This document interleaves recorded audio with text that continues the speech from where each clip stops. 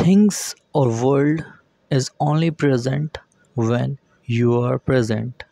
This means, ये दुनिया, ये ब्रह्मांड, और यहाँ पर जितनी वस्तुएँ आप देखते हैं, वो सब तभी मौजूद होती हैं जब आप उन्हें देखने के लिए यहाँ पर मौजूद होते हैं।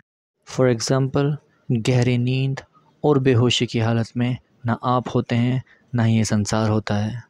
जागते हुए अगर इसे घटित होते हुए देखना चाहते हैं तो मन को विचार शून्य करना होगा, जैसे बुद्ध रमन महर्षि और भगवान रामकृष्ण परमहंस ने किया था।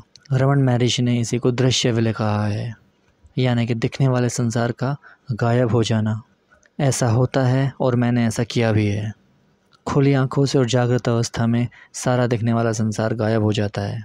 अगर इस बात को उल्टा कर दिया जाए that means observer creates reality.